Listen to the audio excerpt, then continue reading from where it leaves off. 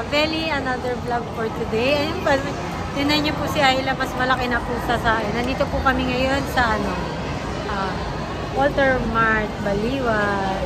Mamamasyala po kami konti, ikot-ikot. Papasyala po. Kasama namin siyempre si yan, kasama namin din, siyempre si nanay, tsaka si ate. Pasok daw po kami sa Mr. T. Ayla. Walter Mart Baliwag po ito. Maliit lang po ito pero ano, ayaw naman po namin sa SM kasi ano lang naman eh, ah, para hindi po masyadong marami yung tao. Mata, matao po kasi doon. May mga laruan lang. Dito po, papasok kami sa Mr. J.O. Marami po dito mag madalang madidiling mga gamit sa bahay.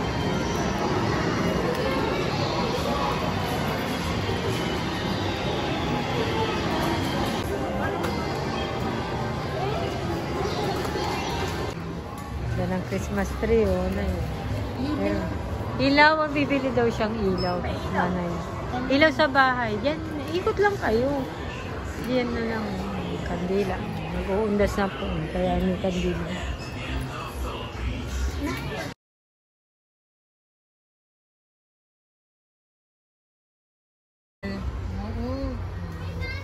Meron din po siya mga ganito. USB pan.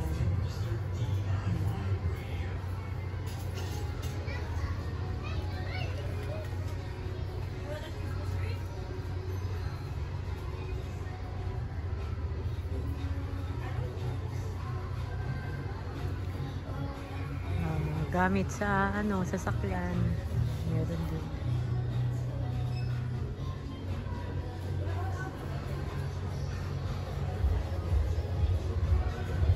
Hindi ako masyado makapag-video ulit. May sounds. Andito sila nana. Uy, ay.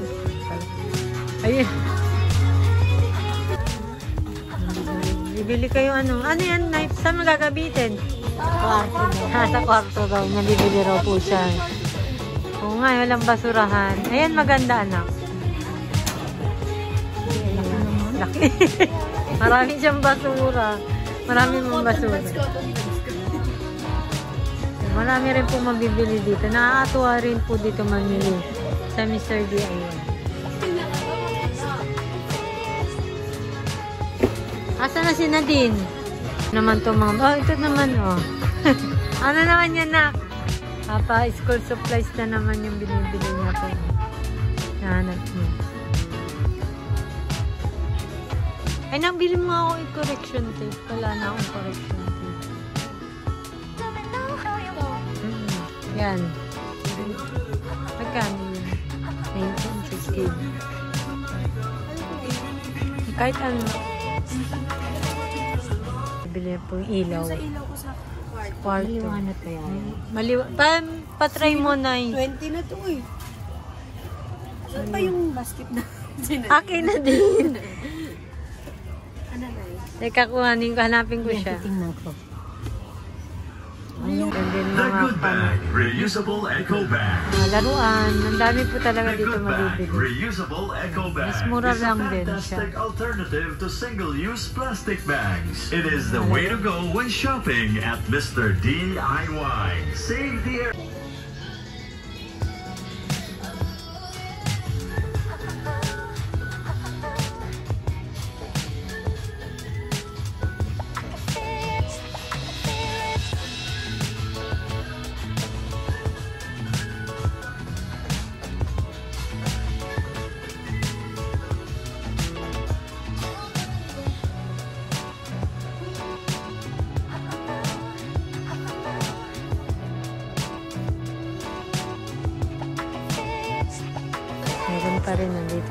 Gamit sa bahay din.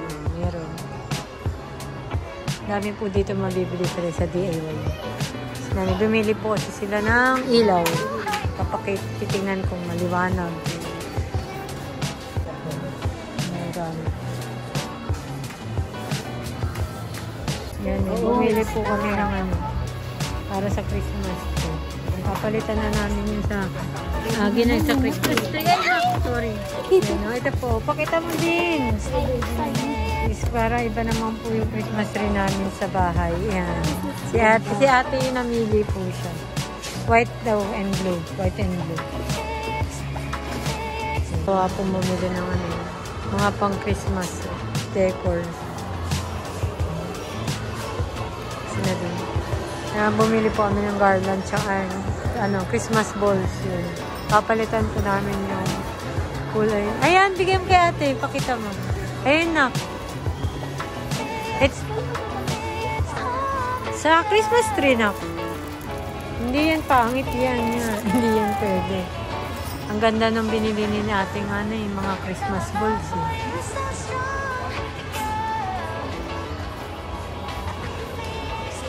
Hmm. Parang Christmas ano. Sa pintuan po. Sa farm. Ganda. Pang Christmas na.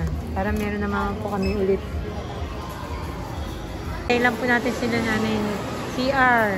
Hintay po kami ni Nadine dito. Eh, shoes niya. Uh, ano, ang ganda ng shoes mo din ah. Thank you po. Bagay na bagay po sa paa niya. Laki kasi ng paa eh.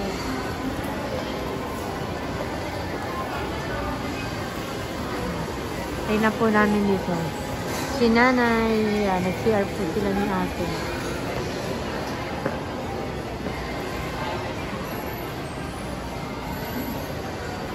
Isang, mala isang square lang po to ngayon dito sa ano, ah, Walter Mine. Puro marami dito mga ano, pagkain. Bili ng pagkain. Tapos may maliit na gift store kasi ano, supermarket. Saka may mga ibang butik. Ito yung ano nila, ah, food court.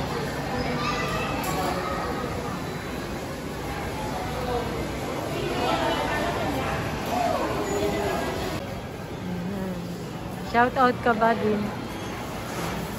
Ah, Sino sa shout out mo? Wala. Harap ka ng harap. Wala ka naman wala shout out. Yun. Tapos kung, ako, yung- kung ak- akbayad na lang po ako ngayon ni Nadine, ganun lang. Mas malaki na po sa akin. Ayan. Dito lang po kami. Kaya may pauwi na rin po kami. Nag-ikot lang po kami dun sa Mr. DIY nga. Nakabili rin po kami ng pang ano yun, pang Christmas decor. Yeah, may nagtitinda sa Riwa. Oh. Nasa, nandito sila sa labas. Chicken. Gusto ni nanay, bibili daw chicken. Tayo. Chicken? Wala na ba tayong ano sa bahay? Hindi naman magnolia pa, oh. Ay. Yung frozen lang yung mga baboy. Ay, mo. Bili ka ng chicken.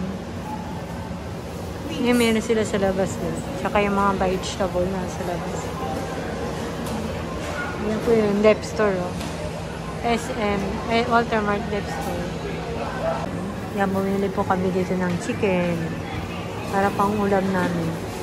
Kasama ko po ngayon, yan, nandito po kami sa ano, sasakyan ni Nadine, yan. On the way po kami ngayon pa Arayat. Yan, uwi po kami ng Arayat, sinundo ko po siya ngayon sa- dito ah, sa Bulacan. Yan, papunta po siya ng Arayat. Kasi sem break po ngayon, yan, bago mag-undas, may sem break po sila. Kaya, ilang araw po bago mag, ano, is, pasyal muna po sa Arayat. Yan. Anong kinakain mo, anak? Meron po. Melon. Ayan. Yung melon. Ayan. Sige po. So yan, bali, ano po pala, ah, bago po pala kami pumunta na uh, dumiretso ng ano, Pampanga, magkikita po kami ni Kabeli dito sa ano, ah, event nila sa Suliban, Baliwag, Bulacan. Yan. Ah, nagpaiwan po kasi sila ni John Paul kasi nga ah, humabol yung team dun sa parada ni Kuya Bobet. Yan. Kaya kami ang susundo sa kanya. Ah, ah, on the way na po kami pa Suliban, Baliwag yan.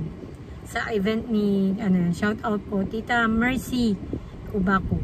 Yan. Thank you po. Kita po tayo doon. Ito na po kami sa farm. Ayan, nakarating ulit si Nadine. Oh. Dinhapon na po kami at matraffic. matraffic. Na-traffic po kami. Naabutan po kami ng mga parada ng ano, mga nagkakandidato. O, yun pa sila mga... May ano po siya ng merenda. Dalawa binili ko. Sa'yo yan lahat? Ay, kakain daw po siya ng McDo. Nagutom po kami sa traffic. Patraffic po kami. Hinapon na po kami dito.